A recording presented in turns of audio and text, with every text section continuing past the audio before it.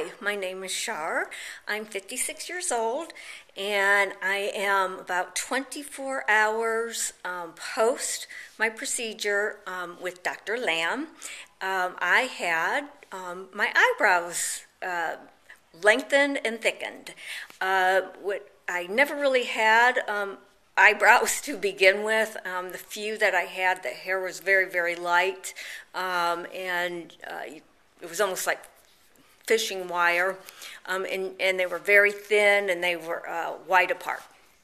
So it had been bothering me for quite a while. Um, so I did some research about. I started about two years ago. It's it's been you know.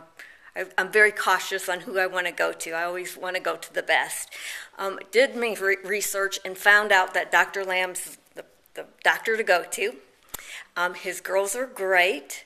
So they prepped me for the procedure yesterday, made me feel totally comfortable and calm. We, we drew out um, my eyebrows. I had shown them some pictures, um, and we copied those pictures. Um, and when we were um, all happy with the way they looked, um, then my procedure began. Now, unfortunately, I can't tell you a whole bunch about, or maybe it's fortunately, I can't tell you a whole bunch about the procedure because um, I was sleeping. They they gave me um, something nice to, to relax me, and I totally totally relaxed. I don't remember a darn thing. So um, when I woke up, though, um, we were just finishing the procedure, and I had zero pain.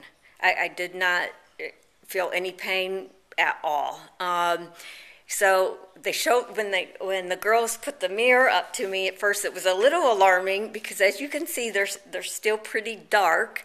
Um, but the reason they're they're dark and thick is because there's some uh, swelling and there's some scabbing underneath.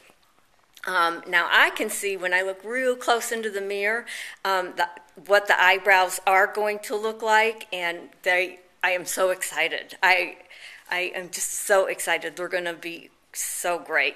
So um, I'm gonna going to check back with you in a couple days, and um, hopefully some of the um, swelling will go down, and the um, you know scabbing will go down, and you'll be able to see um, you know closer to what the end result will be.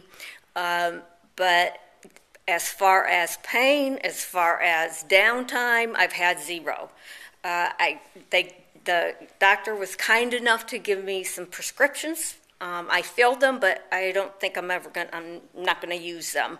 Um, I am, of course, taking um, the prescription for the swelling, and I'm putting some um, lotion on as as um, recommended. But um, as far as pain pills, I have not had to take any. so I'll check back with you soon. Thanks.